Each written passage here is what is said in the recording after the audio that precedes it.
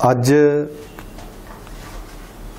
ਅਪ੍ਰੈਲ ਮਹੀਨਾ 2019 ਸਾਰੇ ਸਾਥੀਆਂ ਨੂੰ, ਸੁਣਨ ਵਾਲੇ ਸਾਥੀਆਂ ਨੂੰ ਜੈ ਭੀਮ, ਜੈ ਭਾਰਤ, ਵਾਹਿਗੁਰੂ ਜੀ ਕਾ ਖਾਲਸਾ, ਵਾਹਿਗੁਰੂ ਜੀ ਕੀ ਫਤਿਹ ਪ੍ਰਵਾਨ ਕਰੋ ਮੇਰੇ ਵੱਲੋਂ। ਦੋਸਤੋ 14 ਅਪ੍ਰੈਲ ਦਾ ਦਿਹਾੜਾ ਬਹੁਤ ਅਹਿਮ ਦਿਹਾੜਾ ਪੂਰੇ ਦੇਸ਼ ਲਈ, ਪੂਰੇ ਵਿਦੇਸ਼ ਲਈ, ਪੂਰੇ ਸੰਸਾਰ ਲਈ ਔਰ ਖਾਸ ਤੌਰ ਤੇ ਪੰਜਾਬੀਆਂ ਲਈ। 14 ਅਪ੍ਰੈਲ ਨੂੰ ਵਿਸਾਖੀ ਵੀ ਪੰਜਾਬ ਦੇ ਵਿੱਚ ਮਨਾਈ ਜਾਣ ਲੱਗ ਪਈ। ਵਿਸਾਖੀ ਨੂੰ 14 ਅਪ੍ਰੈਲ ਤੇ ਫਿਕਸ ਕਰਤਾ। 14 ਅਪ੍ਰੈਲ ਦੀ ਵਿਸਾਖੀ ਵੀ ਆ। 14 ਅਪ੍ਰੈਲ ਨੂੰ ਬਾਬਾ ਸਾਹਿਬ ਅੰਬੇਡਕਰ ਦਾ ਜਨਮ ਦਿਨ ਵੀ ਆ। 14 ਅਪ੍ਰੈਲ ਨੂੰ ਮੌਜੂਦਾ ਦੌਰ ਦੇ ਅੰਦਰ ਪੰਜਾਬ ਦੀ ਧਰਤੀ ਦੇ ਜੰਪਲ ਇੱਕ ਪੰਜਾਬੀ ਜਿਹੜੇ ਆਨੰਦਪੁਰ ਸਾਹਿਬ ਦੀ ਧਰਤੀ ਤੇ ਪੈਦਾ ਹੋਏ। ਰੋਪੜ ਜ਼ਿਲ੍ਹੇ ਵਿੱਚ ਪੈਦਾ ਹੋਏ ਸਾਹਿਬ ਕਾਸ਼ੀ ਰਾਮ ਜਿਨ੍ਹਾਂ ਨੇ ਬਹੁਤ ਵੱਡਾ ਦੇਸ਼ ਦਾ ਰਾਸ਼ਟਰੀ ਦਲ ਬਣਾਇਆ, ਜਿਹੜਾ ਪਿਛਲੇ 25 ਸਾਲਾਂ ਤੋਂ ਲਗਾਤਾਰ ਦੇਸ਼ ਦੀ ਰਾਸ਼ਟਰੀ ਪਾਰਟੀ ਆ, ਬਹੁਜਨ ਸਮਾਜ ਪਾਰਟੀ, ਉਹ ਵੀ 14 ਅਪ੍ਰੈਲ ਨੂੰ ਬਣੀ। ਤੇ ਪੰਜਾਬ ਦੀ ਸੱਤਾ ਤਬਦੀਲੀ ਦਾ ਯੁੱਧ ਵੀ ਇਸੇ ਮਹੀਨੇ ਸ਼ੁਰੂ ਹੋ ਰਿਹਾ 14 ਅਪ੍ਰੈਲ ਤੋਂ। ਵੱਖ-ਵੱਖ ਪਾਰਟੀਆਂ ਲੱਗੀਆਂ ਹੋਈਆਂ।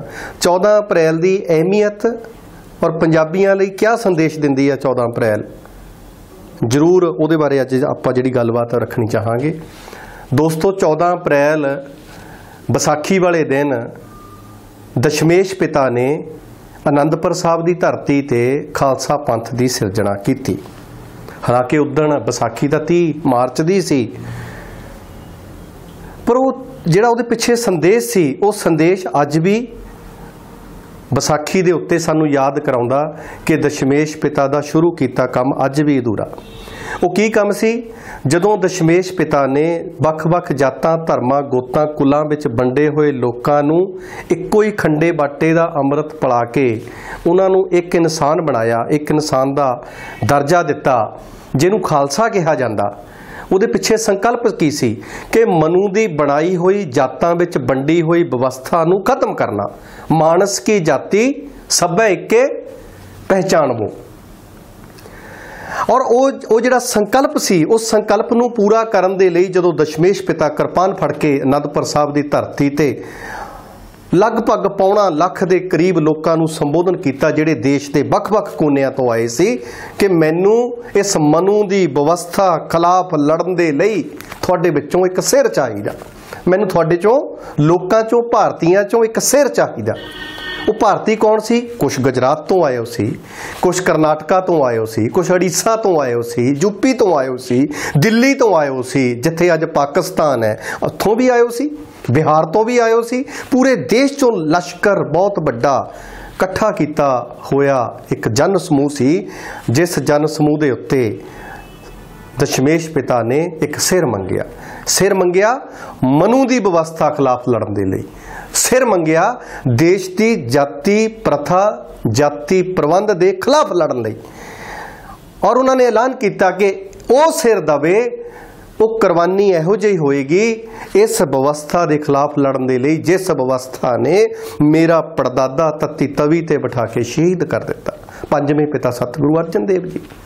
ਇਸ ਮਨੂ ਦੀ ਵਿਵਸਥਾ ਨੇ ਮੇਰੇ ਦਾਦੇ ਨੂੰ, ਜਿਹਨੂੰ ਛੇਵੀਂ ਪਾਤਸ਼ਾਹੀ ਸ੍ਰੀ ਗੁਰੂ ਹਰਗੋਬਿੰਦ ਰਾਏ ਸਾਹਿਬ ਬੰਦੀ ਛੋੜ ਕਹਿੰਨੇ ਆ, ਉਹਨਾਂ ਨੇ ਆਪਣਾ ਘਰ ਘਾਟ ਛੱਡ ਕੇ ਪਹਾੜੀ ਇਲਾਕੇ ਵਿੱਚ ਜਾ ਕੇ ਕੀਰਤਪੁਰ ਸਾਹਿਬ ਨਵਾਂ ਨਗਰ ਬਸਾਇਆ ਜ਼ਮੀਨ ਮੁੱਲ ਖਰੀਦ ਕੇ।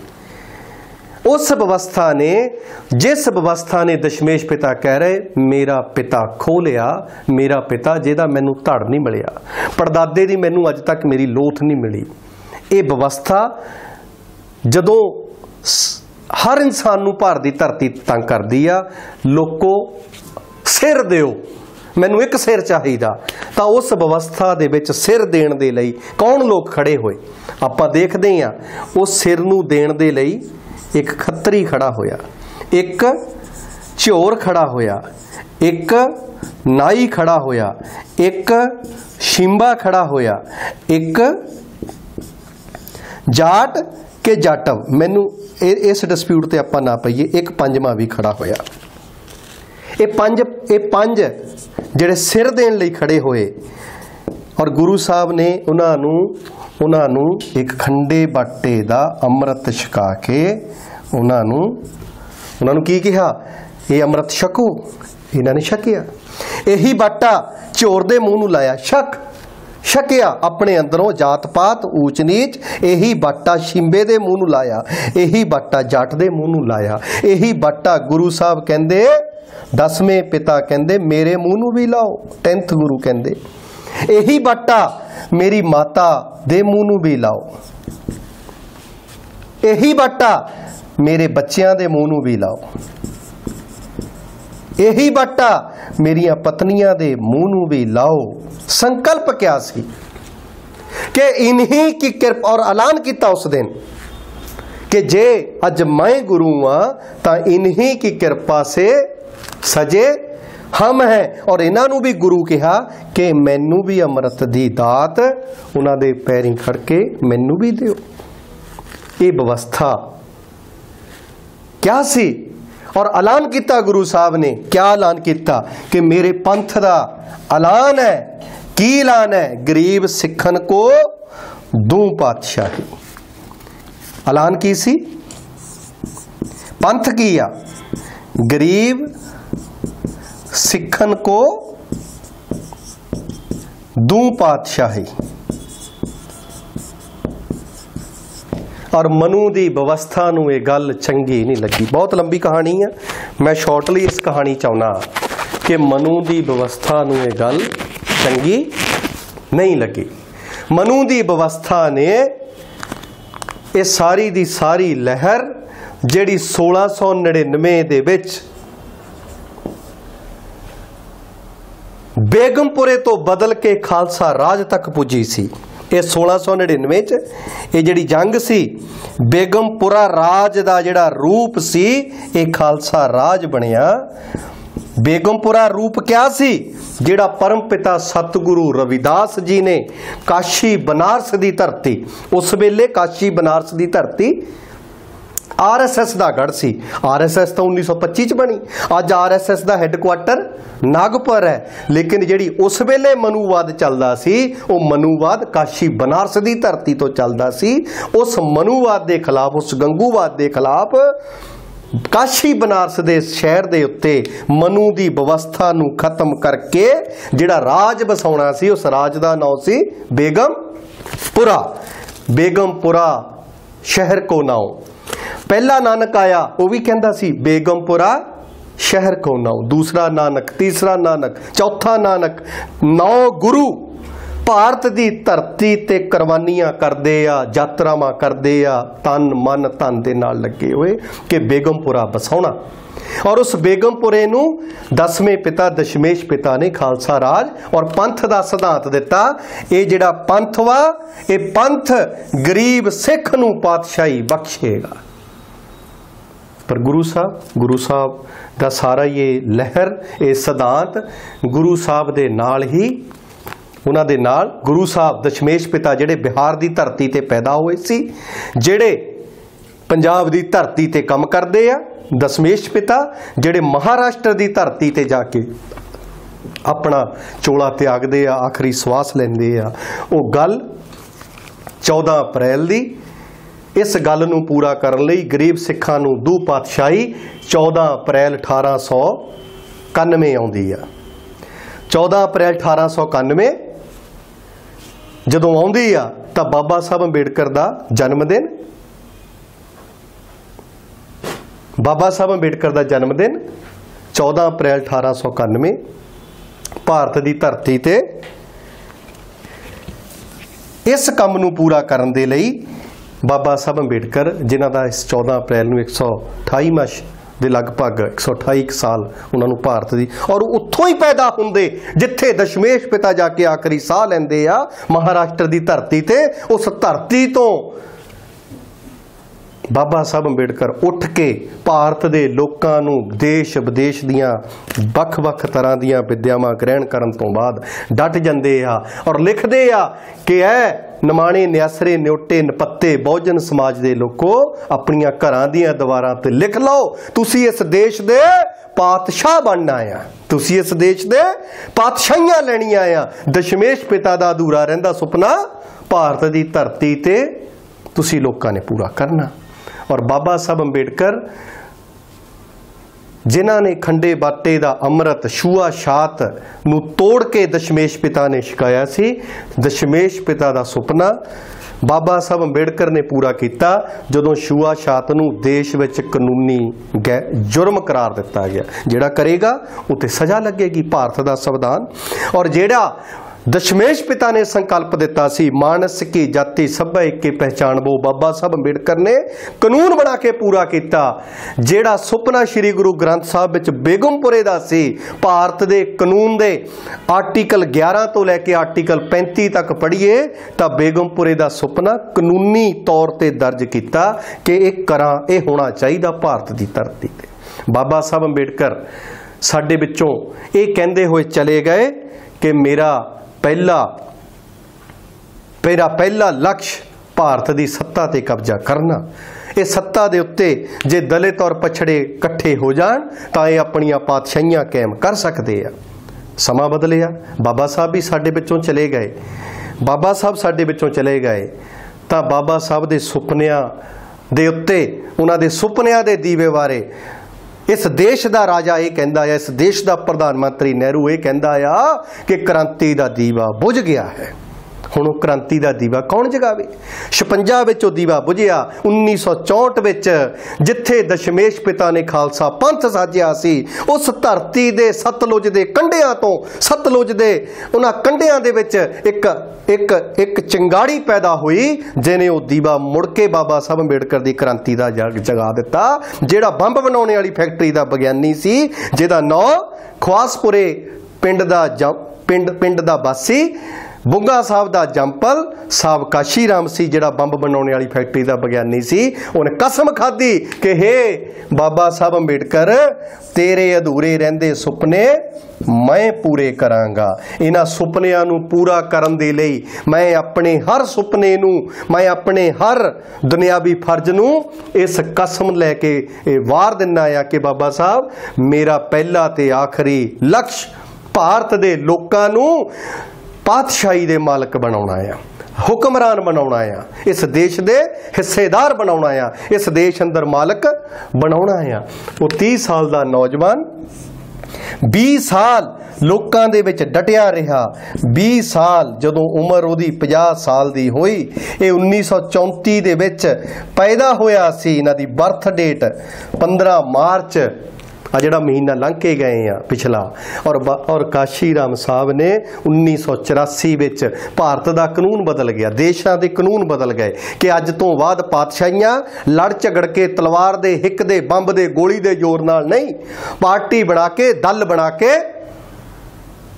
ਦਲ ਬਣਾ ਕੇ ਲੋਕਾਂ ਨੂੰ ਨਾਲ ਜੋੜੋ ਔਰ ਤੁਸੀਂ ਪਾਤਸ਼ਾਹੀਆਂ ਆਪਣੀਆਂ ਲੈ ਸਕਦੇ ਆ ਲੋਕਾਂ ਨੂੰ ਜੋੜਨ ਦੇ ਲਈ 14 ਅਪ੍ਰੈਲ 1984 ਇੱਕ ਦਲ ਬਣਾਇਆ ਜਾਂਦਾ ਜਿਹਨੂੰ ਬਹੁਜਨ ਸਮਾਜ ਪਾਰਟੀ ਕਿਹਾ ਜਾਂਦਾ, ਜਿਹਦਾ ਚੋਣ ਨਿਸ਼ਾਨ ਹੱਥ ਹੀ ਸੀ। ਇਹ 14 ਅਪ੍ਰੈਲ ਦੀ ਅਹਿਮੀਅਤ ਇੰਨੀ ਜ਼ਿਆਦਾ। ਉਹ ਦਲ ਦਸ਼ਮੇਸ਼ ਪਿਤਾ ਨੇ ਕਿਹਾ ਸੀ, ਕਉ ਕਿਸੀ ਕੋ ਰਾਜ ਨਾ ਦੇ ਹੈ ਜੋ ਲੈ ਹੈ ਨਿਜ ਬਲ ਸੇ ਲੈ ਹੈ ਅੱਜ ਨਿਜ ਬਲ ਬਣਾਉਣ ਦੇ ਲਈ ਸਾਡੇ ਵਿੱਚ ਮਾਨੇਵਰ ਸਾਹਿਬ ਕਾਸ਼ੀ ਰਾਮ ਦਾ ਦਿੱਤਾ ਹੋਇਆ ਦਲ ਹੈ। ਜਿਹੜਾ 1984 ਚ ਬਣਿਆ ਸੀ, ਇਹ ਦਲ 1986 ਵਿੱਚ ਦੇਸ਼ ਦੀ ਰਾਸ਼ਟਰੀ ਪਾਰਟੀ ਬਣਿਆ, ਰਾਸ਼ਟਰੀ ਦਲ ਬਣਿਆ ਔਰ ਅੱਜ ਤੱਕ ਰਾਸ਼ਟਰੀ ਦਲ ਹੈ, ਅੱਜ ਤੱਕ। ਕਾਂਗਰਸ ਔਰ ਬੀਜੇਪੀ ਤੋਂ ਬਾਅਦ ਅੱਜ ਤੱਕ ਸਾਹਿਬ ਕਾਸ਼ੀ ਰਾਮ ਨੇ ਜਿਹੜਾ ਨਵਾਂ ਆਪਣਾ ਆਪਣੇ ਆਪਣੇ ਤੋਂ ਬਾਅਦ ਉੱਤਰਾਧਿਕਾਰੀ ਥਾਪਿਆ ਸੀ। ਭੈਣ ਕੁਮਾਰੀ ਮਾਇਆਵਤੀ ਜੀ, ਉਹਨਾਂ ਦੀ ਰਹਿਨਮਾਈ ਦੇ ਵਿੱਚ ਅੱਜ ਵੀ ਇਹ ਦਲ ਦੇਸ਼ ਦੇ ਲੋਕਾਂ ਨੂੰ ਵਕਤ ਪਾਉਂਦਾ ਹੋਇਆ, ਮਨੂਵਾਦ ਨੂੰ ਵਕਤ ਪਾਉਂਦਾ ਹੋਇਆ, ਦੇਸ਼ ਦੇ ਮਨੂਵਾਦੀ ਸਿਸਟਮ ਨੂੰ ਕਾਇਮ ਰੱਖਣ ਵਾਲੇ ਲੋਕਾਂ ਨੂੰ ਵਕਤ ਪਾਉਂਦਾ ਹੋਇਆ ਇਹ ਦਲ, ਇਹ ਹਾਥੀ ਅੱਜ ਵੀ ਪੂਰੀ ਜ਼ੋਰ ਤੇ ਰਫ਼ਤਾਰ ਦੇ ਨਾਲ ਦਿੱਲੀ ਦੇ ਤਖਤ ਤੇ ਕਬਜ਼ਾ ਕਰਨ ਦੇ ਲਈ ਭੱਜਾ ਹੋਇਆ। ਪਰ ਅਸੀਂ ਪੰਜਾਬ ਵਾਲੇ ਕਿੱਥੇ? ਅਸੀਂ ਪੰਜਾਬ ਦੇ ਵਿੱਚ ਕਿੱਥੇ ਸਟੈਂਡ ਕਰਦੇ ਹਾਂ ਇਸ ਅੰਦੋਲਨ ਦੇ ਨਾਲ? ਬਹੁਜਨ ਦਾ ਮਤਲਬ ਬਹੁਜਨ। ਬਹੁਜਨ ਦਾ ਮਤਲਬ ਕਿਆ ਹੁੰਦਾ? ਇਸ ਦੇਸ਼ ਦਾ ਸ਼ਡਿਊਲ ਕਾਸਟ ਜਿਹਦੀ ਪਾਪੂਲੇਸ਼ਨ ਇੰਨੀ ਆ। ਇਸ ਦੇਸ਼ ਦਾ ਸ਼ਡਿਊਲ ਟ੍ਰਾਈਬ ਜਿਹਦੀ ਪਾਪੂਲੇਸ਼ਨ ਇੰਨੀ ਆ। ਇਸ ਦੇਸ਼ ਦਾ OBC ਜਿਹਦੀ ਪਾਪੂਲੇਸ਼ਨ 52% ਹੈ। ਇਸ ਦੇਸ਼ ਦਾ ਸਿੱਖ, ਬਹੁਜਨ ਚਾਹੁੰਦਾ ਆ ਪਾਪੂਲੇਸ਼ਨ 2% ਹੈ। ਇਸ ਦੇਸ਼ ਦਾ ਈਸਾਈ, ਬਹੁਜਨ ਚਾਹੁੰਦਾ ਪਾਪੂਲੇਸ਼ਨ 2% ਹੈ। ਇਸ ਦੇਸ਼ ਦਾ ਬੋਧੀ ਪਾਪੂਲੇਸ਼ਨ 1% ਹੈ। ਇਸ ਦੇਸ਼ ਦਾ ਮੁਸਲਮਾਨ ਬਹੁਜਨ ਵਿੱਚ ਆਉਂਦਾ ਪਾਪੂਲੇਸ਼ਨ 14% ਆ ਇਹਨਾਂ ਸਾਰਿਆਂ ਨੂੰ ਮਿਲਾ ਕੇ ਬਹੁਜਨ ਸਮਾਜ ਦੀ ਆਬਾਦੀ 90% ਤੋਂ ਜ਼ਿਆਦਾ ਹੋ ਜਾਂਦੀ ਆ। ਲੇਕਿਨ ਜਦੋਂ ਆਪਾਂ ਗਿਣਦੇ ਆ, ਦੇਸ਼ ਦਾ ਰਾਜਾ ਕੌਣ? ਦੇਸ਼ ਦਾ ਪਾਤਸ਼ਾਹ ਕੌਣ? ਦਸ਼ਮੇਸ਼ ਪਿਤਾ ਨੇ ਪੰਥ ਚਲਾਇਆ ਸੀ। ਮੈਂ ਗਰੀਬ ਸਿੱਖਾਂ ਨੂੰ ਪਾਤਸ਼ਾਹ ਗਰੀਬ ਕੌਣ ਹੁੰਦਾ? ਜਿਹੜਾ ਨਮਾਣਾ ਹੋਵੇ, ਨਿਆਸਰਾ ਹੋਵੇ, ਨਿਉਟਾ ਹੋਵੇ, ਨਪੱਤਾ ਹੋਵੇ, ਇਸ ਦੇਸ਼ ਦਾ ਐਸਸੀ, ਐਸਟੀ। ਇਹ ਦੇਖ ਲਓ ਕਿੰਨਾ ਕੁ ਇਸ ਦੇਸ਼ ਦੇ ਲੋਕਾਂ ਦੇ ਉੱਤੇ ਕਿੰਨਾ ਇਹ ਜ਼ੁਲਮ ਦੇ ਸ਼ਿਕਾਰ। ਮੁੱਛ ਰੱਖਣ ਤੇ ਵੀ ਕਤਲ, ਘੋੜੀ ਚੜਨ ਤੇ ਵੀ ਕਤਲ ਤੇ ਮੋਦੀ ਦੇ ਗੁਜਰਾਤ ਵਿੱਚ ਕਿੱਦਾਂ ਸਕਾਰਪੀਓ ਨੂੰ ਕੱਟ ਕੇ ਬੰਨ ਕੇ ਲੋਹੇ ਦੇ ਸਰੀਆਂ ਨਾਲ ਕੁੱਟਿਆ ਜਾਂਦਾ। ਈਸਾਈਆਂ ਦੇ ਗਿਰਜਾਘਰ ਸਿੱਖਾਂ ਦਾ ਕਲ ਤਖਤ ਤੇ ਮੁਸਲਮਾਨਾਂ ਦੀ ਬਾਬਰੀ ਮਸਜਿਦ ਇਸ ਦੇਸ਼ ਦੀ ਮਨੂ ਸਮ੍ਰਿਤੀ ਮਨੂ ਵਾਦ ਦੇ ਸਮਰਥਕ ਲੋਕਾਂ ਨੇ ਢਾ ਦਿੱਤੀ, ਪਰ ਬਹੁਜਨ ਸਮਾਜ ਜਾਤਾਂ ਗੋਤਾਂ ਵਿੱਚ ਵੰਡ ਕੇ ਵਿਖਰਿਆ ਪਿਆ ਆ। ਔਰ ਕਾਸ਼ੀ ਰਾਮ ਸਾਹਿਬ ਨੇ ਕਿਹਾ ਸੀ, ਇਹ ਜ਼ੁਲਮ ਦੇ ਸ਼ਿਕਾਰ ਲੋਕਾਂ ਨੂੰ ਇਕੱਠੇ ਕਰਕੇ, ਮੈਂ ਸਭ ਮਨੂ ਦੇ ਸ਼ਿਕਾਰ ਨੇ, ਮਨੂ ਦੇ ਸ਼ਿਕਾਰ ਲੋਕਾਂ ਨੂੰ ਇਕੱਠੇ ਕਰਕੇ, ਮੈਂ ਇਸ ਦੇਸ਼ ਵਿੱਚ ਬਹੁਤ ਵੱਡਾ ਇੱਕ ਜੁੱਟ ਬਣਾਵਾਂਗਾ, ਗੁੱਟ ਬਣਾਵਾਂਗਾ, ਵਰਗ ਬਣਾਵਾਂਗਾ, ਉਸ ਵਰਗ ਦਾ ਨਾਂ ਹੋਏਗਾ ਬਹੁਜਨ ਸਮਾਜ। ਪਰ ਜੇ ਅਸੀਂ ਪੰਜਾਬ ਦੇ ਸੰਦਰਭ ਵਿੱਚ ਗੱਲ ਕਰੀਏ ਔਰ ਮਾਨੇਵਰ ਸਾਹਿਬ ਕਾਸ਼ੀ ਰਾਮ ਨੇ ਪੰਜ ਯਾਤਰਾਵਾਂ ਪੂਰੇ ਦੇਸ਼ ਵਿੱਚ ਕੱਢੀਆਂ 85 ਕਿਹੜੀ ਯਾਤਰਾ? ਐਸਸੀ ਸਮਾਜ ਦਾ ਹਿੱਤ, ਬਹੁਜਨ ਸਮਾਜ ਨਾਲ ਸੁਰੱਖਿਅਤ। ਐਸਟੀ ਸਮਾਜ ਦਾ ਹਿੱਤ, ਬਹੁਜਨ ਸਮਾਜ ਨਾਲ ਸੁਰੱਖਿਅਤ। ਪਛੜਾ ਵਰਗ ਦਾ ਹਿੱਤ, ਬਹੁਜਨ ਸਮਾਜ ਨਾਲ ਸੁਰੱਖਿਅਤ। ਸਿੱਖ ਸਮਾਜ ਦਾ ਹਿੱਤ, ਬਹੁਜਨ ਸਮਾਜ ਨਾਲ ਸੁਰੱਖਿਅਤ। ਮੁਸਲਮਾਨ ਹਿੱਤ ਸਮਾਜ ਦਾ ਹਿੱਤ, ਬਹੁਜਨ ਸਮਾਜ ਨਾਲ ਸੁਰੱਖਿਅਤ। ਅਸਾਈ ਸਮਾਜ ਦਾ ਹਿੱਤ, ਬਹੁਜਨ ਸਮਾਜ ਨਾਲ ਸੁਰੱਖਿਅਤ। ਅੱਜ ਆਪਾਂ ਗੱਲ ਕਰੀਏ, ਕਿਆ ਪੰਜਾਬ ਦੇ ਸਿੱਖ ਸਮਾਜ ਦੇ ਲੋਕਾਂ ਨੇ ਬੰਬ ਬਣਾਉਣ ਵਾਲੀ ਫੈਕਟਰੀ ਦਾ ਵਿਗਿਆਨੀ ਜਿਹੜਾ ਘਰ-ਬਾਰ ਤਿਆਗ ਕੇ, ਰਿਸ਼ਤੇਦਾਰੀਆਂ, ਕਬੀਲੇ ਖੂਨ ਦੇ ਰਿਸ਼ਤੇ ਤਿਆਗ ਕੇ ਜਿਹੜਾ ਇਸ ਦੇਸ਼ ਦੇ ਅੰਦਰ ਮਨੂਵਾਦ ਦੇ ਖਿਲਾਫ ਲੜ ਰਿਹਾ, ਸਾਡੇ ਸਿੱਖ ਭਾਈਚਾਰੇ ਨੇ ਕਿਆ ਰੋਲ ਅਦਾ ਕੀਤਾ? 14 ਅਪ੍ਰੈਲ ਨੂੰ ਬਣੀ 1984 ਤੇ ਜੂਨ, ਜੁਲਾਈ, ਜੂਨ 3 ਨੂੰ 1984 ਪੰਜਾਬ ਦੇ ਉੱਤੇ ਬਹੁਤ ਵੱਡਾ ਹਮਲਾ। ਅਕਾਲ ਤਖਤ ਤੇ ਲੱਖਾਂ ਦੀ ਫੌਜ ਇਸ ਦੇਸ਼ ਦੀ ਮਨੂ ਵਿਵਸਥਾ ਨੇ ਭੇਜ ਕੇ ਪੰਜਾਬ ਦੇ ਵਿੱਚ 1994 ਤੱਕ ਬਹੁਤ ਵੱਡਾ ਕਾਣ ਕੀਤਾ। 1984 ਤੋਂ ਲੈ ਕੇ 1994 ਤੱਕ 30 ਲੱਖ ਨੌਜਵਾਨ ਭਾਰਤ, ਪੰਜਾਬ ਦਾ ਵਿਦੇਸ਼ਾਂ ਦੀ ਧਰਤੀ ਤੇ ਕੂਚ ਕਰ ਗਿਆ। ਜਸਵੰਤ ਸਿੰਘ ਖਾਲੜਾ ਜੀ ਹੋਏ, ਉਹ ਪਿੰਡ-ਪਿੰਡ ਘੁੰਮਣ ਲੱਗੇ ਕਿ ਕਿੰਨੇ ਮੁੰਡੇ ਇਹਨਾਂ 10 ਸਾਲਾਂ ਦੇ ਵਿੱਚ ਇਸ ਦੇਸ਼ ਦੀ ਮਨੂਵਾਦੀ ਵਿਵਸਥਾ ਨੇ ਘਰੋਂ ਚੱਕ ਕੇ ਸੋਹਣੇ ਸਨੱਖੇ ਨੌਜਵਾਨ ਮਾਵਾਂ ਦੇ ਪੁੱਤ ਸਿੱਖੀ ਸਰੂਪ ਵਾਲੇ ਘਰੋਂ ਨਦੀਆਂ ਦੇ ਕੰਢਿਆਂ ਤੇ ਰਾਤਾਂ ਨੂੰ ਫੂਕ ਦਿੱਤੇ, ਗੋਲੀਆਂ ਮਾਰ ਦਿੱਤੀਆਂ, ਸਿਵੇ ਵੀ ਉਹਨਾਂ ਦੇ ਉਹਨਾਂ ਦੇ ਮਾਪਿਆਂ ਨੂੰ ਮੌਕਾ ਨਹੀਂ ਮਿਲਿਆ। ਤਾਂ ਉਹਨ ਕਿਹਾ ਕਿ 30000 ਤਾਂ ਉਹ ਲੱਛਾਂ ਆ ਜਿਨ੍ਹਾਂ ਦਾ ਕੋਈ ਖੋਰਾ ਖੋਜ ਨਹੀਂ ਲੱਭਦਾ ਤੇ ਜਿਨ੍ਹਾਂ ਦੇ ਖੁਰਾ ਖੋਜ ਲੱਭੇ, ਉਹ ਲੱਖਾਂ ਨੌਜਵਾਨ, ਇੱਕ ਬਹੁਤ ਵੱਡੀ ਬਹੁਤ ਵੱਡੀ, ਇੱਕ ਜਿਹਨੂੰ ਜੈਨੋਸਾਈਡ ਹੈ, ਭਾਰਤ ਦੀ ਧਰਤੀ ਤੇ ਸਿੱਖ ਸਮਾਜ ਦੀ ਹੋਈ। ਔਰ ਔਰ ਔਰ ਕਾਸ਼ੀ ਰਾਮ ਸਾਹਿਬ ਇਸ ਵੇਲੇ ਕੀ ਕਰਦੇ ਸੀ? ਔਰ ਸਿੱਖ ਕੀ ਕਰਦੇ ਸੀ? ਤਾਂ 85 ਦਾ ਇਲੈਕਸ਼ਨ ਆਇਆ 1985 ਪਾਰਟੀ ਨਵੀਂ ਸੀ। ਪੰਜਾਬ 'ਚ ਲੜਿਆ 1.5% ਬੀਐਸਪੀ ਨੂੰ ਵੋਟ ਪਿਆ। ਹਮਲਾ ਹੋਇਆ, ਬਹੁਤ ਵੱਡਾ ਘਾਣ ਸ਼ੁਰੂ ਹੋਇਆ। 89 ਦੇ ਵਿੱਚ ਭਾਰਤ ਦਾ ਪਾਤਸ਼ਾਹ ਚੁਣਿਆ ਜਾਣਾ ਸੀ। ਔਰ ਭਾਰਤ ਦੀ ਮਨੂਵਾਦੀ ਜਮਾਤ ਦੀ ਅਗਵਾਈ ਕਰਦੀ ਸੀ ਕਾਂਗਰਸ ਭਾਰਤੀ ਜਨਤਾ ਪਾਰਟੀ। ਭਾਰਤੀ ਜਨਤਾ ਪਾਰਟੀ ਜੇ 1984 ਦੇ ਵਿੱਚ ਵੱਡੇ ਵੱਡੇ ਯਾਤਰਾਵਾਂ ਕੱਢ ਕੇ ਵੱਡੀਆਂ ਵੱਡੀਆਂ ਯਾਤਰਾਵਾਂ ਦਿੱਲੀ ਦੀ ਧਰਤੀ ਤੇ ਕੱਢ ਕੇ ਕਾਂਗਰਸ ਨੂੰ ਕਿਹਾ, ਹਰਮੰਦਰ ਸਾਹਿਬ ਤੇ ਅਕਾਲ ਤਖਤ ਤੇ ਫੌਜ ਭੇਜੋ। ਭੇਜੋ 89 ਦੇ ਵਿੱਚ 89 ਦੇ ਵਿੱਚ ਕਾਸ਼ੀ ਰਾਮ ਸਾਹਿਬ ਨੇ ਸਿੱਖਾਂ ਨੂੰ ਸਮਝਾਇਆ ਕਿ ਸਾਨੂੰ ਇਕੱਠੇ ਹੋ ਕੇ ਲੈ ਦੋਸਤੋ, ਅਸੀਂ ਦੇਖਦੇ ਹਾਂ ਕਿ 1999 ਦੇ ਵਿੱਚ ਜਿਹੜਾ ਦੇਸ਼ ਦੇ ਰਾਜਾ ਬਣਨ ਦਾ ਪ੍ਰਧਾਨ ਮੰਤਰੀ ਬਣਾਉਣ ਦਾ ਯੁੱਧ ਚੱਲਿਆ, ਉਹਦੇ ਚ ਪੰਜਾਬ ਦੇ ਸਿਨੈਰੀਓ ਦੇ ਵਿੱਚ ਸਾਹਿਬ ਕਾਸ਼ੀ ਰਾਮ ਜੀ ਨੇ ਪੰਜਾਬ ਬਹੁਜਨ ਸਮਾਜ ਦੇ ਦਲਤ ਪਛੜਾ ਔਰ ਸਿੱਖ ਭਾਈਚਾਰੇ ਦੇ ਨਾਲ ਇੱਕ ਧਰੁਵੀਕਰਨ ਕੀਤਾ। ਅਸਿੱਧਾ ਸਮਝੌਤਾ ਕੀਤਾ ਇਨਡਾਇਰੈਕਟ ਕੰਪਰੋਮਾਈਜ਼ ਕੀਤਾ ਔਰ ਸਿੱਖ ਭਾਈਚਾਰੇ ਦੇ ਸ਼੍ਰੋਮਣੀ ਅਕਾਲੀ ਦਲ ਮਾਨ ਦੇ ਉਹਦੇ ਥੱਲੇ 1999 ਦੇ ਵਿੱਚ ਲਗਭਗ 9 ਦੇ ਕਰੀਬ ਮੈਂਬਰ ਪਾਰਲੀਮੈਂਟ ਜਿੱਤੇ। 9 ਦੇ ਕਰੀਬ। ਔਰ ਜੇ ਇਹ ਸਮਝੌਤਾ ਨਾ ਕਰਦੇ, ਤਾਂ ਇਹਦੇ ਚੋਂ ਘੱਟੋ ਘੱਟ 4 ਘਟ ਜਾਣੇ ਸੀ 5 ਰਹਿਣੇ ਸੀ ਸਿੱਖ ਭਾਈਚਾਰੇ ਦੇ ਅਕਾਲੀ ਦਲ ਦੇ ਔਰ ਕਾਂਗਰਸ ਵੀ ਬਰਾਬਰ ਪੰਜਾਂ ਛੇਆਂ ਤੇ ਜਾ ਡਿੱਗਦੀ ਉਸ ਵੇਲੇ। ਜੇਕਰ ਕਿਸੇ ਨੂੰ ਸ਼ੱਕ ਹੋਵੇ, ਤਾਂ 89 ਦਾ ਸਿਨੈਰੀਓ ਕੱਢ ਕੇ ਚੈੱਕ ਕਰੋ ਕਿ ਸ਼੍ਰੋਮਣੀ ਅਕਾਲੀ ਦਲ ਦੇ ਵਿੱਚ ਜੇ ਬਹੁਜਨ ਸਮਾਜ ਪਾਰਟੀ ਦੇ ਉਮੀਦਵਾਰਾਂ ਦਾ ਵੋਟ ਨਾ ਐਡ ਹੋਵੇ, ਉਹ ਕਾਂਗਰਸ ਨੂੰ ਕੱਟ ਨਾ ਮਾਰਦੀ ਪਾਰਟੀ, ਤਾਂ ਕਾਂਗਰਸ ਦੇ ਇੱਥੇ ਘੱਟੋ ਘੱਟ 6 ਮੈਂਬਰ ਪਾਰਲੀਮੈਂਟ। ਔਰ ਔਰ ਪੂਰੇ ਸੰਸਾਰ ਵਿੱਚ ਇਹ ਗੱਲ ਜਾਣੀ ਸੀ ਕਿ ਦੇਖੋ ਬਈ 1984 ਤੋਂ ਬਾਅਦ ਪੰਜਾਬ ਦੇ ਸਾਰੇ ਹੀ ਵੋਟਰ ਸਪੋਰਟਰ ਕਾਂਗਰਸ ਨੂੰ ਠੋਕ ਕੇ ਵੋਟਾਂ ਪਾਉਂਦੇ। ਅਕਾਲ ਤਖਤ ਸਾਹਿਬ ਤੇ ਹਮਲੇ ਦਾ ਕੋਈ ਵੀ ਕੋਈ ਵੀ ਨੁਕਸਾਨ, ਕੋਈ ਵੀ ਕਾਂਗਰਸ ਨੂੰ ਉਹਦਾ, ਪਰ ਸਾਹਿਬ ਕਾਸ਼ੀ ਰਾਮ ਨੇ ਇਹੋ ਇਹੋ ਜਿਹੀ ਨੀਤੀ ਧਾਰੀ ਕਿ ਨੌ ਪਿੱਪਲ ਮਨੂਵਾਦੀ ਪਾਰਟੀ ਕਾਂਗਰਸ ਦੀ ਹਿੱਕ ਤੇ ਦਿੱਲੀ ਦੀ ਪਾਰਲੀਮੈਂਟ ਦੇ ਵਿੱਚ ਗੱਡ ਕੇ ਭੇਜੇ। ਨੌ ਪਿੱਪਲ।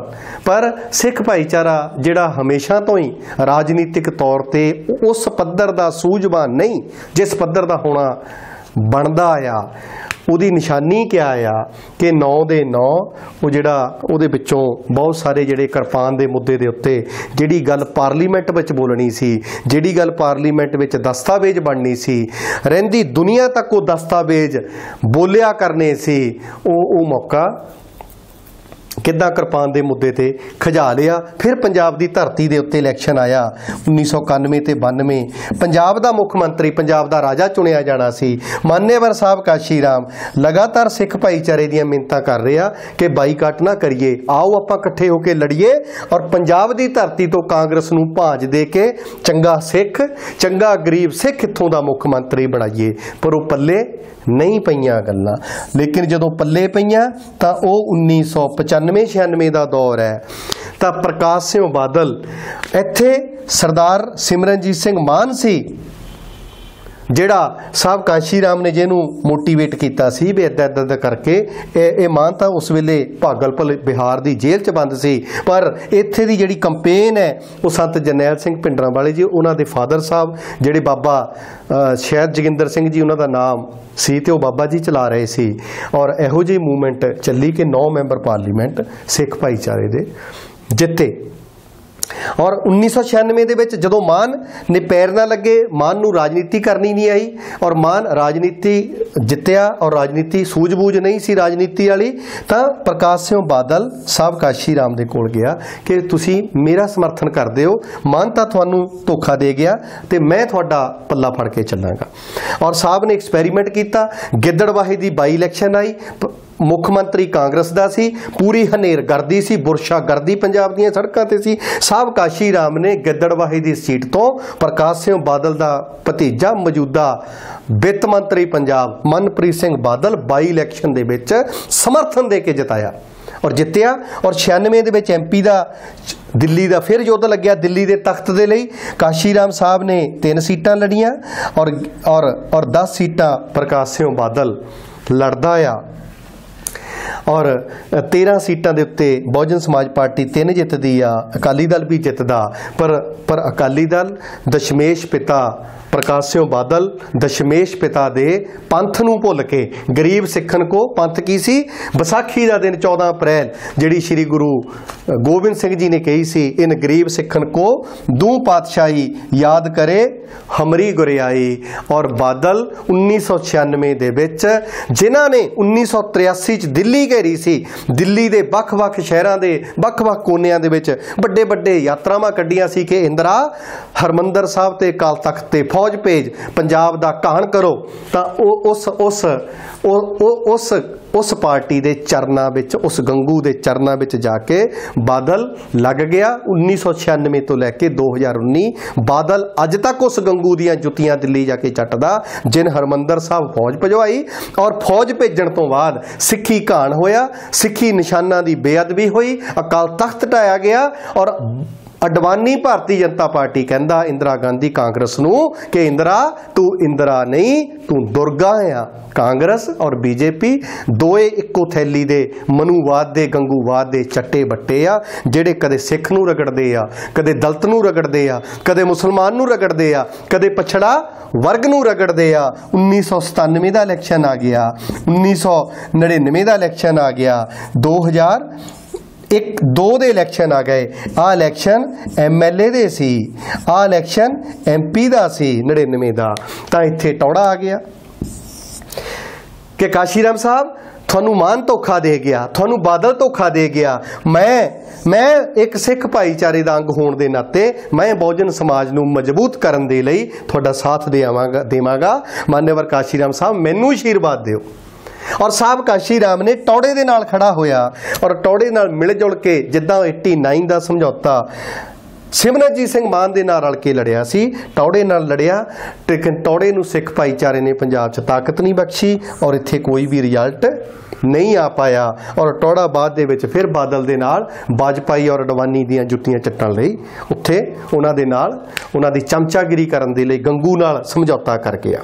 ਔਰ ਗਰੀਬ ਸਿੱਖਣ ਕੋ ਦੋ ਪਾਤਸ਼ਾਹੀ ਦਸ਼ਮੇਸ਼ ਪਿਤਾ ਦਾ ਜਿਹੜਾ ਪੰਥ ਸੀ, ਜਿਹੜਾ ਉਹਨਾਂ ਨੇ ਵਿਸਾਖੀ ਵਾਲੇ ਦਿਨ 14 ਅਪ੍ਰੈਲ ਜਿਹਨੂੰ ਅੱਜ ਆਪਾਂ ਕਹਿੰਦੇ ਆ ਦਸ਼ਮੇਸ਼ ਪਿਤਾ ਨੇ ਕਿਰਪਾ ਕਿਰਪਾਨ ਫੜ ਕੇ ਕਿਹਾ ਸੀ, ਗਰੀਬ ਸਿੱਖਣ ਕੋ ਦੋ ਪਾਤਸ਼ਾਹੀ, ਪਰ ਬਾਦਲ ਔਰ ਟੌੜਾ ਫਿਰ ਪ੍ਰਧਾਨ ਮੰਤਰੀ ਬਣਾਉਣ ਦੇ ਲਈ ਵਾਜਪਾਈ ਦੇ ਚਰਨਾਂ ਵਿੱਚ ਜਾ ਲੱਗੇ। 2002 ਦਾ ਇਲੈਕਸ਼ਨ ਆਇਆ।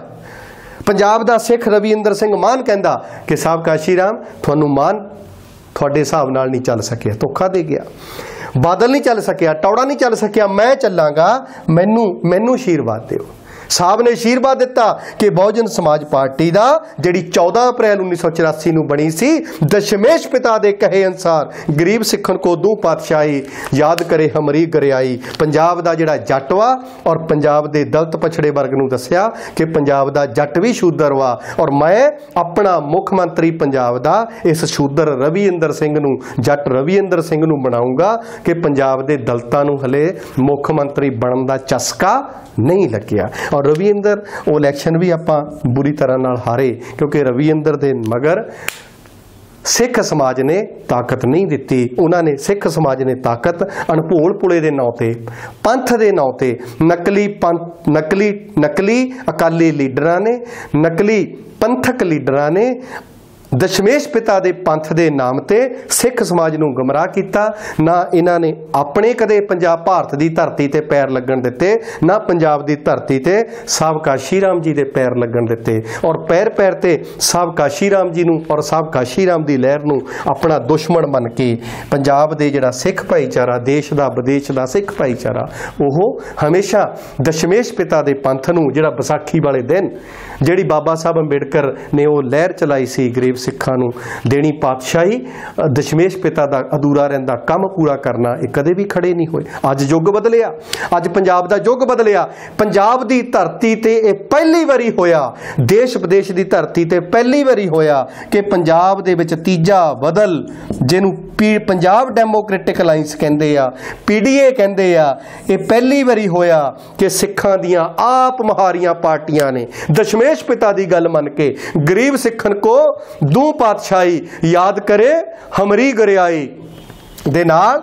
ਉਹਨਾਂ ਨੇ ਸਾਬਕਾ ਸ਼ੀਰਾਮ ਦੀ ਉੱਤਰਾਧਿਕਾਰੀ ਭੈਣ ਕੁਮਾਰੀ ਮਾਇਆਵਤੀ ਨੂੰ ਦਿੱਲੀ ਦੇ ਤਖਤ ਦੇ ਦਾਅਵੇਦਾਰ ਦੀ ਵਿੱਚ ਸਮਰਥਨ ਦੇਣ ਦਾ ਐਲਾਨ ਕੀਤਾ ਔਰ ਅੱਜ ਦੇ ਦਿਨ, ਇਸ ਵਿਸਾਖੀ ਵਾਲੇ ਦਿਨ, ਜਿਸ ਦਿਨ ਇਹ ਹੋਂਦ ਵਿੱਚ ਆਇਆ ਅੰਦੋਲਨ ਕਿ ਗਰੀਬ ਸਿੱਖਾਂ ਨੂੰ ਦਸ਼ਮੇਸ਼ ਪਿਤਾ ਦਾ ਅਧੂਰਾ ਕੰਮ ਪੂਰਾ ਕਰਨਾ, ਉਸ ਕੰਮ ਦੇ ਲਈ ਪੀਡੀਏ ਸਤਕਾਰਯੋਗ ਖੈਰਾ ਸਾਹਿਬ ਔਰ ਸਿਮਰਨਜੀਤ ਸਿੰਘ ਬੈਂਸ ਸਾਹਿਬ ਸਿਮਰਜੀਤ ਸਿੰਘ ਬੈਂਸ ਸਾਹਿਬ ਔਰ ਕਮਿਊਨਿਸਟ ਪਾਰਟੀਆਂ ਦੋ ਮੰਗਤ ਰਾਮ ਪਾਂਸਲਾ ਜੀ ਔਰ ਉਹਨਾਂ ਦੇ ਸੀਪੀਆਈ ਔਰ ਇਹਨਾਂ ਨੇ ਬਹੁਜਨ ਸਮਾਜ ਪਾਰਟੀ ਦੇ ਨਾਲ ਇੱਕ ਗਠਬੰਧਨ ਕਾਇਮ ਕੀਤਾ ਕਿ ਅਸੀਂ ਇਸ ਦੇਸ਼ ਦੇ ਵਿੱਚ ਪੰਜਾਬ ਵੱਲੋਂ ਇਸ ਵਾਰੀ ਇਹ ਪਹਿਲੀ ਵਾਰੀ ਹੋਇਆ ਕਿ ਦਿੱਲੀ ਦੇ ਤਖਤ ਦਾ ਦਾਅਵੇਦਾਰ, ਦਸ਼ਮੇਸ਼ ਪਿਤਾ ਦੇ ਅਨਸਾਰ ਐਲਾਨ ਹੋਇਆ ਕਿ ਨਹੀਂ ਤਾਂ ਅਕਾਲੀ ਦਲ ਤਾਂ ਹਮੇਸ਼ਾ 1920 ਦੇ ਵਿੱਚ ਬਣਿਆ 1921 ਦੇ ਵਿੱਚ ਸਾਰੇ ਅਕਾਲੀ ਕਾਂਗਰਸੀ ਬਣ ਗਏ, ਜਦੋਂ ਚਾਬੀਆਂ ਦਾ ਮੋਰਚਾ ਔਰ ਗਾਂਧੀ ਨੇ ਚਿੱਠੀ ਪਾਈ ਔਰ ਐਨੇ ਕਾਂਗਰਸੀ ਬਣ ਗਏ। 1957 ਵਿੱਚ ਪ੍ਰਕਾਸ਼ ਸਿੰਘ ਬਾਦਲ ਪਹਿਲੀ ਵਾਰੀ ਐਮਐਲਏ ਬਣਦਾ ਤਾਂ ਕਾਂਗਰਸ ਦੀ ਟਿਕਟ ਤੋਂ ਬਣਦਾ ਆ। ਕਾਂਗਰਸ ਦੀ ਟਿਕਟ ਲੈ ਕੇ ਬਣਦਾ ਆ। ਔਰ ਇਹ 1920 ਤੋਂ ਲੈ ਕੇ ਕਿਸੇ ਨਾ ਕਿਸੇ ਰੂਪ ਵਿੱਚ ਕਾਂਗਰਸੀ ਗੰਗੂ ਦੀਆਂ ਇਹ ਇਹ ਇਹ ਗੁਲਾਮਗਿਰੀਆਂ ਕਰਦੇ ਰਹੇ ਅਕਾਲੀ ਦਲ ਵਾਲੇ। ਔਰ 1996 ਤੋਂ ਲੈ ਕੇ ਅੱਜ ਤੱਕ ਇਹ ਭਾਰਤੀ ਜਨਤਾ ਪਾਰਟੀ ਜਿਹੜਾ ਗੰਗੂ ਦਾ ਵੀ ਪਿਓ ਆ, ਉਹਦੀਆਂ ਇਹ ਹੁਕਮ ਗੁਲਾਮਗਿਰੀਆਂ ਕਰਦੇ ਆ। ਜੁੱਤੀਆਂ ਚੱਟਣਾ ਜਿਹਨੂੰ ਪੰਜਾਬੀ ਚ ਦੇਸੀ ਚ ਕਹਿੰਦੇ ਆ, ਇਹ ਕੰਮ ਕਰਦੇ ਆ। ਪਰ ਅੱਜ ਕੁਝ ਨੌਜਵਾਨ ਖੜੇ ਹੋਏ ਆ ਕੁਝ ਲੀਡਰ ਪੰਜਾਬ ਦੀ ਧਰਤੀ ਤੇ ਖੜੇ ਹੋਏ ਆ ਔਰ ਮੈਨੂੰ ਉਮੀਦ ਹੈ ਦੇਸ਼ ਔਰ ਵਿਦੇਸ਼ ਦਾ ਸੂਝਵਾਨ ਸਿੱਖ, ਦਸ਼ਮੇਸ਼ ਪਿਤਾ ਦਾ ਸਿੱਖ ਅੱਜ ਵਿਸਾਖੀ ਵਾਲੇ ਦਿਨ 14 ਅਪ੍ਰੈਲ, ਜਿਸ ਦਿਨ ਬਾਬਾ ਸਾਹਿਬ ਅੰਬੇਡਕਰ ਦਾ ਜਨਮ ਦਿਹਾੜਾ ਹੁੰਦਾ ਆ, ਜਿਸ ਦਿਨ ਇਸ ਦੇਸ਼ ਦੇ ਵਿੱਚ ਇੱਕ ਦਲ ਬਣਾਇਆ ਗਿਆ ਗਰੀਬ ਸਿੱਖਾਂ ਨੂੰ ਪਾਤਸ਼ਾਹੀ ਦੇਣ ਦੇ ਲਈ ਬਹੁਜਨ ਸਮਾਜ ਪਾਰਟੀ।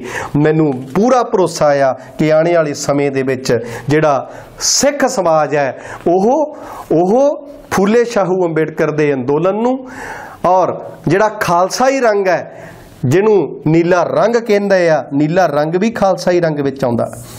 ਜਿੱਥੇ ਖੱਟਾ ਪੀਲਾ ਖਾਲਸਾਈ ਰੰਗ ਹੈ, ਉੱਥੇ ਨੀਲਾ ਰੰਗ ਵੀ, ਨੀਲਾ ਬਾਣਾ ਵੀ, ਨੀਲਾ ਘੋੜਾ ਵੀ, ਇਹ ਵੀ ਸਾਡਾ ਖਾਲਸਾਈ ਰੰਗ ਹੈ। ਔਰ ਉਮੀਦ ਹੈ ਪੰਜਾਬ ਦੀ ਧਰਤੀ ਦੇ ਉੱਤੇ, ਇਸ ਵਿਸਾਖੀ ਦੇ ਦਿਹਾੜੇ ਤੇ, ਲੇਕਿਨ ਇਸ ਖਾਲਸਾਈ ਰੰਗ ਦੇ ਉੱਤੇ ਇਸ ਖਾਲਸਾਈ ਰੰਗ ਦੇ ਉੱਤੇ ਜਿਹੜਾ ਜਿਹੜਾ ਮਾਰਕਾ ਆ ਜੇ ਅਸੀਂ ਪੰਜਾਬ ਦੇ ਲੋਕ ਇੱਕਮਿਕ ਹੋ ਕੇ ਇੱਕ ਮਤ ਹੋ ਕੇ ਅਤਕੀ ਆਪਾਂ ਇਹ ਮਾਰਕਾ, ਇਹਨੂੰ ਬਣਾ ਲਈਏ, ਇਸ ਇਸ ਹਾਥੀ ਨੂੰ, ਚੋਣ ਨਿਸ਼ਾਨ ਨੂੰ ਬਣਾ ਲਈਏ, ਤਾਂ ਉਹ ਦਿਨ ਦੂਰ ਨਹੀਂ। ਜਦੋਂ ਪੰਜਾਬ ਇਹ ਨਹੀਂ, ਦਿੱਲੀ ਦੇ ਤਖਤ ਤੋਂ ਵੀ ਗੰਗੂ ਦੀ ਹੁਕ- ਹੁਕਮਰਾਨੀ ਨੂੰ, ਗੰਗੂ ਦੀ ਸਲਤਨਤ ਨੂੰ ਖਤਮ ਕਰਕੇ ਦੇਸ਼ ਦੇ ਉੱਤੇ ਨੀਲਾ ਝੰਡਾ, ਖਾਲਸਾਈ ਝੰਡਾ ਫਹਿਰਾਇਆ ਜਾ ਸਕਦਾ ਇਹਨਾਂ ਸ਼ਬਦਾਂ ਦੇ ਨਾਲ ਖੇਮਾ ਦਾ ਜਾਚਕ ਹੈ। ਗੱਜ ਕੇ ਬੁਲਾਉਣਾ ਫਤਿਹ। ਜੈ ਭੀਮ, ਜੈ ਭਾਰਤ। ਵਾਹਿਗੁਰੂ ਜੀ ਕਾ ਖਾਲਸਾ, ਵਾਹਿਗੁਰੂ ਜੀ ਕੀ ਫਤਿਹ।